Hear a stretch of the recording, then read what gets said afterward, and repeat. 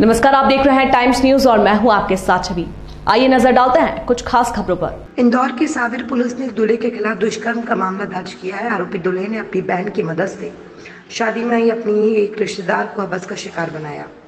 मामले में पुलिस ने प्रकरण दर्ज कर दूल्हे और उसकी मदद करने वाली बहन को गिरफ़्तार कर जेल भेज दिया है।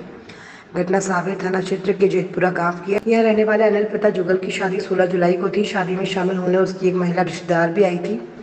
आरोपी दूल्हे ने अपनी बहन नीरू की मदद से अपनी महिला रिश्तेदार से दुष्कर्म किया और किसी को बताने पर जान से मारने की धमकी देने लगा जिसके बाद पीड़ित महिला रिश्तेदार ने सावेर पुलिस को शिकायत दर्ज करवाई। मामले में पुलजस ने आरोपी दूल्हे और उसकी मददगार बहन को गिरफ़्तार कर कोर्ट पेश किया जहाँ से दोनों को जेल भेजा गया है।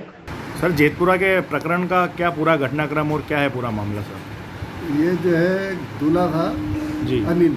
अनिल। अनिल इसकी शादी थी दूल्हा ही बना था उस समय।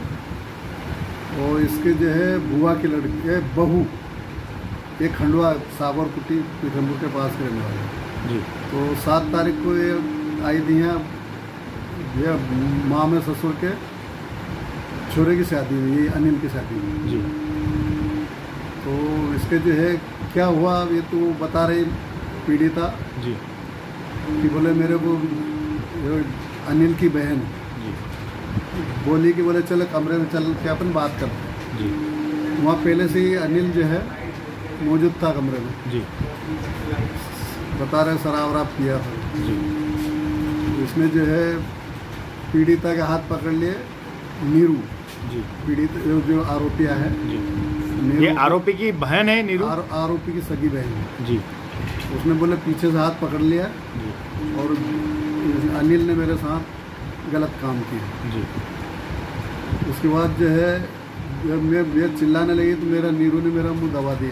जी। मैं चुप रही। जी। इसके बाद जो है दूसरे दिन फिर नीरू ने कहा बोले उस- उसी समय बताया किसी को बताना मत। बताया तो तेरे जान से ख़त्म कर देंगे। दूसरे दिन फिर जो है पीड़िता भी हुई। ये अपने आरोपिया जी। नीरू। इसका भी कहीं घर पास में ही है। तो अपने घर लेके बोले चल भाभी मेरा घर चलते हैं। जी। वहाँ भी जो है अनिल पहले से ही था जी। चला गया था। वहाँ भी उसने गलत काम किया। इस इस बार जो है इस प्रकार तीन बार जो है ऐसा बताया पीड़िता पीड़िता का कहना। तो जो आरोपी है वो आरोपी कितने लोग हैं सर इसमें?